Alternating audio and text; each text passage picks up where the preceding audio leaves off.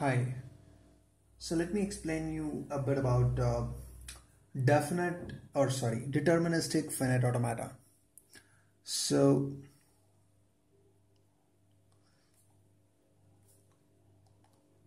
deterministic finite automata.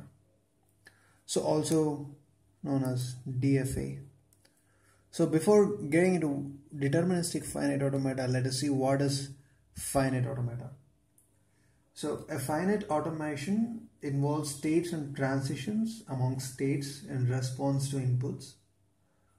They are useful for building several different kinds of software, including the lexical analysis component of a compiler and systems of systems for verifying the corrections of circuits or protocols.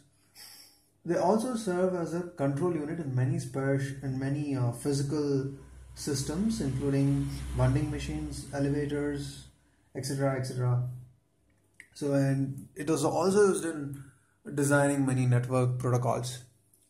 So so what is all this? Okay. See it's nothing but you're you're telling that uh, from state one if it consider you have some okay uh, let me give you a real world example. Consider you are in new york. Okay.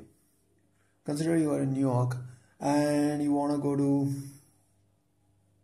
uh, uh, consider california. Okay. So so the point is you decided that if you have dollar 50k in your bank account that day you're going to move from New York to California. So it is something like you start at New York and then if you get 50k, this is your input, you'll go to California.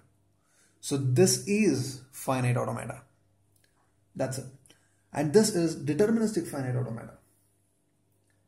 Okay. And it reaches a final state with a given input. So that is uh, that is actually defines a deterministic finite automata okay? So so let's let me take an example. So so if you are given to design uh, a deterministic finite automata to accept strings containing one string strings containing 111 as substring. So any string which contains 111 as substring should be accepted by our machine. So, uh, so what are the different strings? It's something something like 00111 is should be accepted. 100 or 1000 should be accepted. 111 should be accepted. 1111 should be accepted. So all these should be accepted. So any string with a substring of 111 should be accepted. That is that is the machine which we are going to design now. So how are we going to write a, a transition diagram for this? It's very simple. So let us start, let us consider a state Q0. This is our initial state. So this is the start state. Okay. So now let us design for the basic one. Let's not worry about all these strings. Just design a a automata for the basic string. That is 111 that's okay. And then so with 1 it should go to a state q1 and with another one it should go to state q2 and with another one it should reach a final state that is q3 so the final states are represented with double circle. Okay. Now this automaton accepts all uh, string just accepts 111 so if you get 10111 it is not going to accept now. So what is the point?